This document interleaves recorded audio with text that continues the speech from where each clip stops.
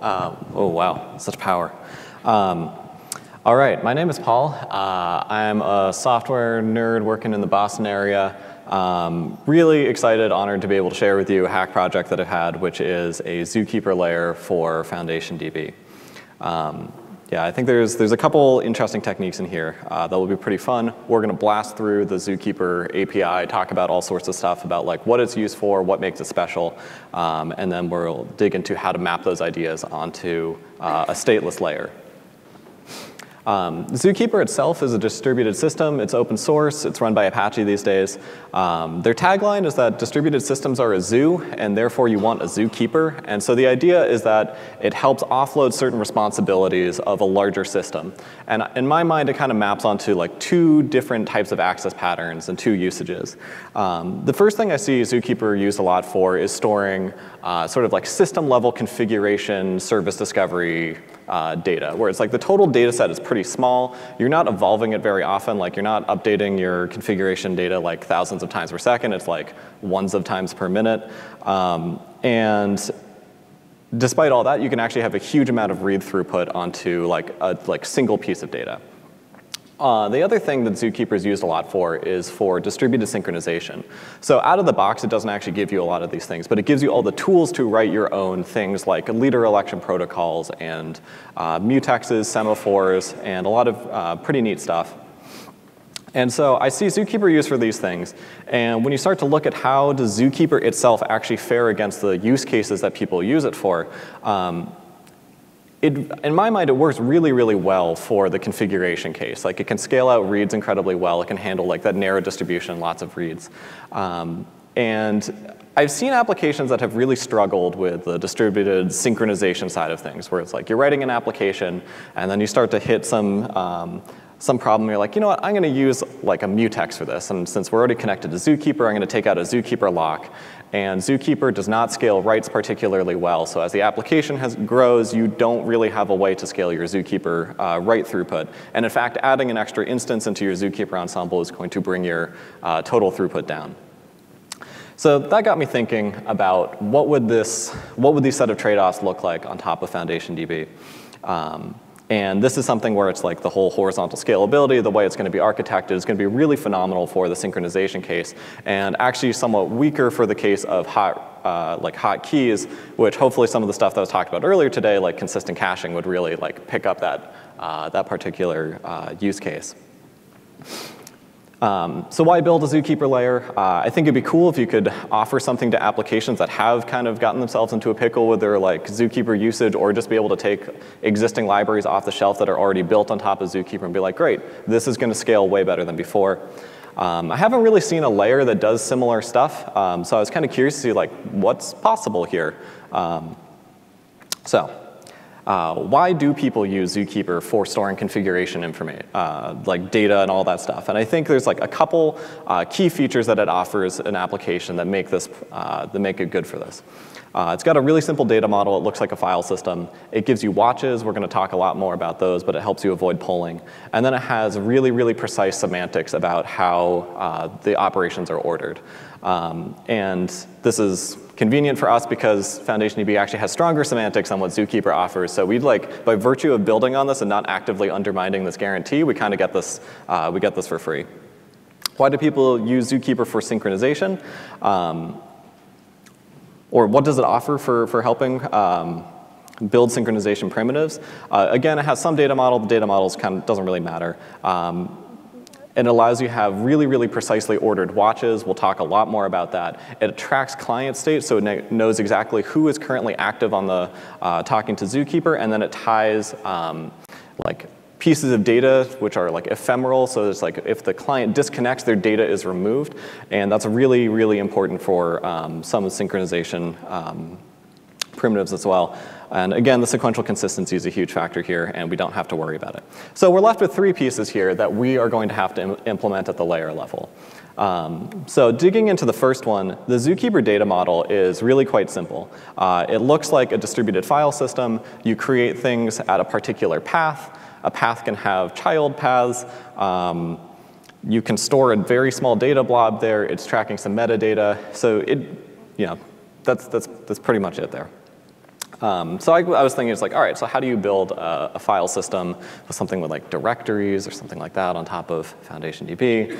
And I decided to be lazy, and I just recycled the directory layer because it already does pretty much all of those things. So it just like pass in the um, like a zookeeper's node path, which is called a z node, get a subspace back from the directory layer, serialize zookeeper's native objects into that path, and then like pretty much all of the work is done.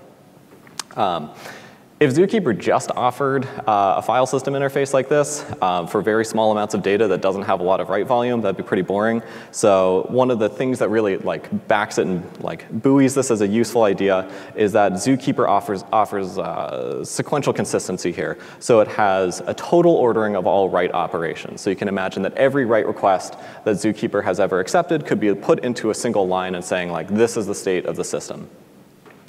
Uh, and so when there are multiple instances in a zookeeper ensemble, they're all replicating, they're all um, keeping, like moving along that line, uh, and they agree on exactly the same ordering.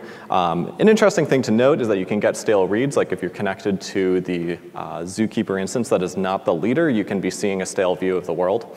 Um, and so when we look at how that compares to Foundation DBs, um, uh, consistency level. Foundation DB has strict serializability. You don't have stale reads, you still have a total ordering. So uh, between this guarantee and between the directory layer, uh, this whole first thing is like pretty much taken care of. So let's move on to something much more challenging. Let's move on to how watches work in Zookeeper. Uh, in Zookeeper, there are four different ways to set a watch. And a watch request is when you go to the server and say, hey, for a given Z node, like a particular path and a particular action, give me back a future that is going to complete when that action has been observed. And Zookeeper allows you to do this uh, for a bunch of different things. Like if the node does not exist already, um, notify me when it's created. Or if it does exist, notify me when it's deleted. And then it backs it, we'll jump into each of these, with some ultra precise guarantees around exactly how the ordering of those things must work. And all of the ordering here adds up to, to Zookeeper being a useful system to, like, to build these primitives on top of. Um, in contrast, Foundation DB also has a feature called a watch. And the way it works is you say, for a given key, give me back a future that completes if the value has changed. We don't know if it was created. We don't know if it was deleted, updated.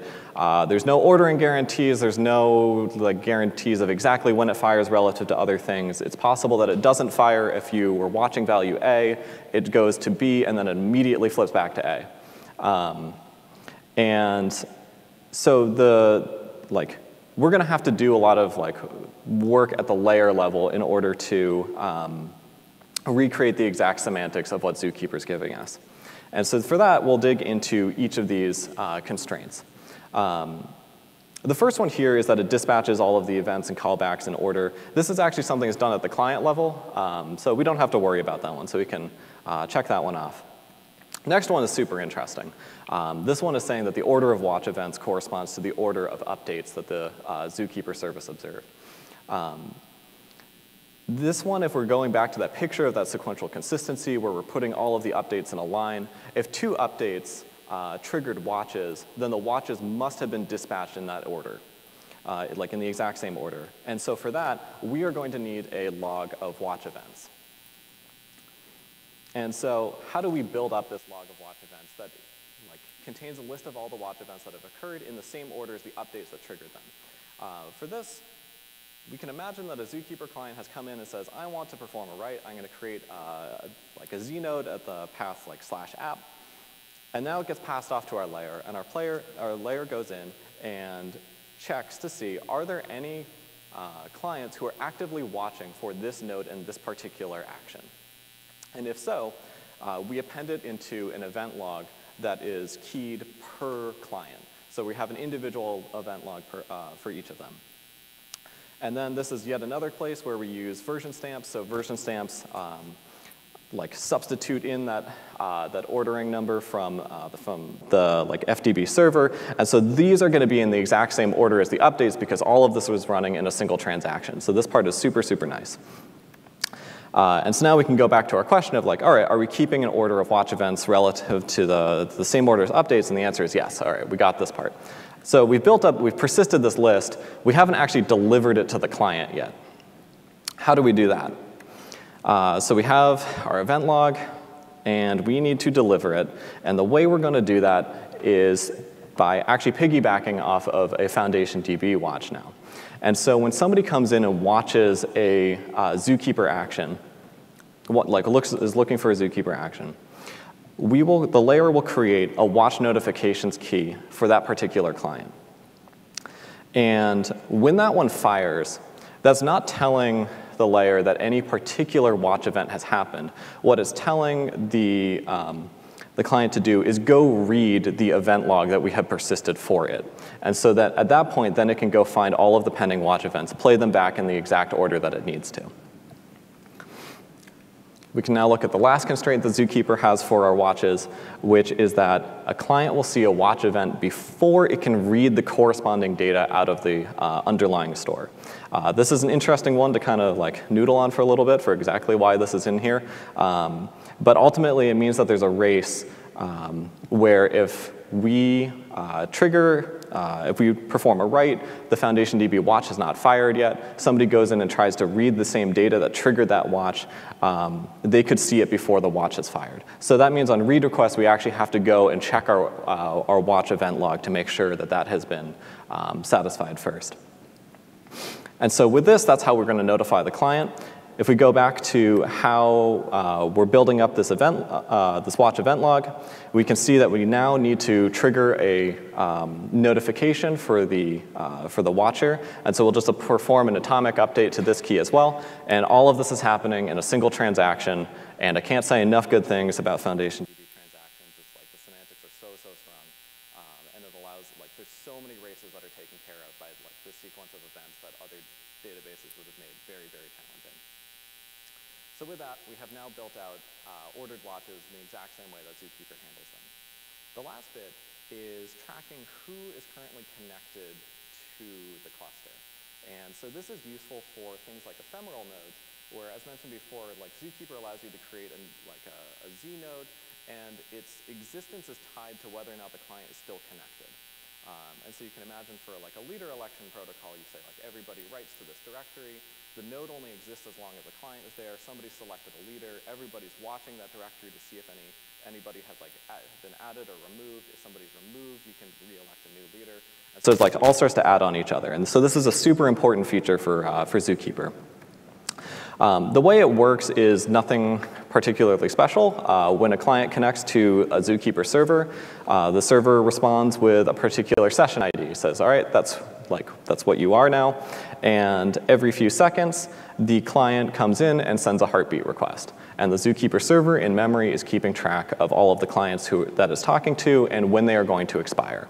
And then about once every second, there's a background thread that's just checking, all right, are there any sessions that haven't checked in in enough time so that they're expired? Uh, and so that's how we're going to like detect if somebody has disconnected, and if they have, uh, the zookeeper goes in, deletes their ephemeral nodes, triggers the watches for anybody who is looking for that, um, and cleans up any other state associated with the client. So how do we recreate this on top of Foundation DB? Um, it's pretty simple. Uh, I think the secret to any like stateless layer is you just take any state that you previously had and just like, you push it down into Foundation DB instead. Um, so we're just going to persist the, like, the heartbeats uh, in all of the sessions. So we're going to have a subspace, which is just all of the sessions. We actually use version stamps to generate the session IDs. Um, and then we have a second subspace, which is an index of all of the um, session IDs, which is ordered by when they're going to expire. And so now how do we find all of the sessions who might be expiring? Uh, it's a simple range read across this subspace. Um, so for each of those, we found a, like an expiring session, uh, go in and delete all of their uh, ephemeral nodes and all of that other data that they might have. Um, staring at this one for a little bit, we now have an interesting question, which is like, who actually runs this code? Because when you had a lot of clients connecting to like an actual Zookeeper server, Zookeeper's keeping track of all of this in memory, and it just has a background thread. Um, so it's like lots of clients connected to one server and has a background thread that's um, that's cleaning these up. Now we have lots and lots of like layer instances all like pushing their state down into Foundation DB, which has no idea that something needs to be cleaned up at any regular interval. Um, and so like how do we keep like the layer stateless? How, or like, or do we have to introduce a second process that is only responsible for dealing with this? Um, so I asked about this on the forums, and there was one idea there that I thought was like such a fun idea I had to go and implement it, uh, which is running a little mini election every second. So on a Zookeeper server, it's got a thread which runs every second. What we're going to do is elect one of the layer instances every second to be responsible for cleaning up um, all of the expired sessions. And the way we're going to do that is by using transaction conflicts. So we're going to create a new subspace, which is um, saying like, here's where the election is, and then the value is uh, when the next election occurs. And so the, our layer every second uh, starts up a new transaction, and it reads when the next election is. It waits and while holding this transaction open, and then it comes in and commits and writes when the subsequent election will occur. And because in theory everybody's doing this at once, uh, when you go to commit, one of the clients is going to uh, succeed in this write and everybody else fails. If you succeeded, then you are the person who is responsible for going in, reading all of the expired sessions, uh, and cleaning up that data. Um, so I thought that was pretty neat. It allows you to just deploy like one thing, like this works equally if you have like a single instance of the layer versus like lots of them. Um, and so now the way we're um, like fleshing out this whole session story is that we are generating session IDs and version stamps. We're pushing the um, like all the session information down into Foundation DB. I didn't give this its own slide, uh, but it's pretty simple. We're keeping track of ephemeral nodes by session ID, and then every second we go in and um, nominate one of the layer instances to go and perform cleanup duty. And so with these three features complete, we have now really like fleshed out like the, the special stuff that Zookeeper is doing that allows you to build all of those interesting primitives that it offers. Um, what's the state of things today? Um, this is very much a proof of concept. Uh, I think it'd be like software engineering malpractice to go and use this in production right now, but um, it's coming along nicely. It runs everything that's in Apache Curator, which has a whole bunch of like well-honed uh, like recipes for, um, for different synchronization primitives. Um, and so, yeah, it's, it's coming along nicely. So there's a GitHub link if you're interested. Uh, if you want to talk to me more about it, uh, you can reach me there. Um, we have time for questions if anybody uh, has any thoughts.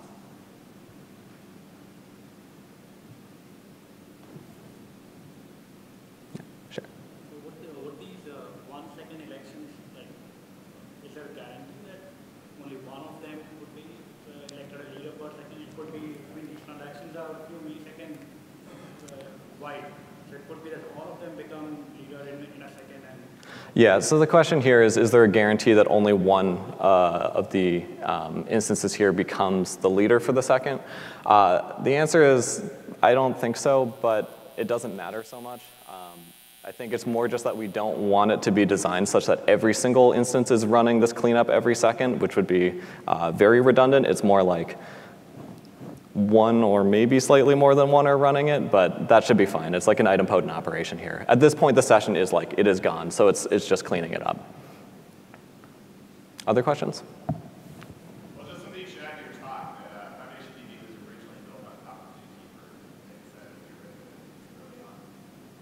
I did not know that.